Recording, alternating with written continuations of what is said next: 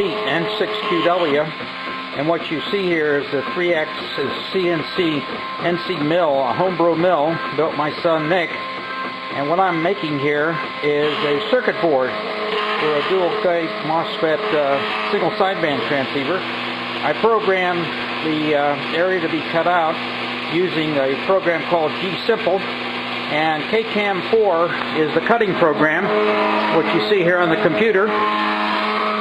And uh, we're cutting the uh, single-sided circuit board right now, going through its paces. Uh, we'll pick this up here in a second as uh, we have more of the board cut. Home brewing, this is home brewing circuit boards at its finest. Uh, let all the machine do the hard work. It's cutting a series of squares here where various circuits will be uh, soldered onto the board. And I've kind of laid it out here uh, so that uh, there is a circuit flow with the various parts. And any area that's not cut is used as the ground plane for the circuits. Again, this is Pete N6QW program. And we can watch the cutting patterns as they're taking place here. And we can see all the actions uh, for the various axes, the z-axis, x-axis, and y-axis. And this is all under uh, uh, computer control.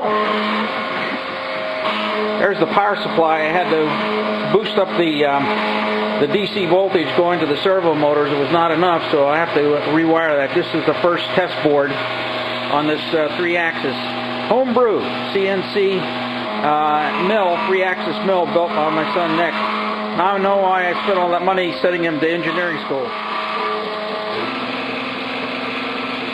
Here we're watching the mill cut out the various patterns. What is uh, the drawing is done? It's created uh, creates a DXF file, what's called a DXF file. And that in turn is uh, converted in the uh, computer to uh, G code. So this way uh, the machine receives its instructions from a standardized G code. Being used here is a standard engraving bit, and there are other bits that can be included in here, various router bits. So if you want to remove large areas or large sections of the copper plate, you'd use a router bit. But for putting these squares in, these island squares, the engraving bit works uh, perfect for that application. Again, this is N6QW, and we're watching a circuit board being made uh, here with the three-axis CNC mill.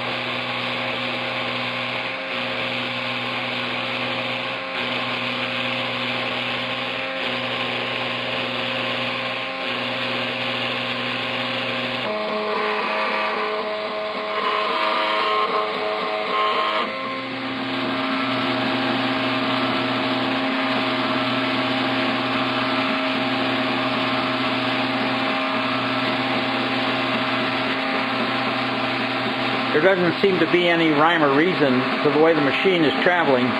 But uh, if you look here on the uh, on the computer here, you can see the, the tool path, which doesn't make any sense to me, but uh, somehow they figured it out that makes the most sense uh, in terms of the travel.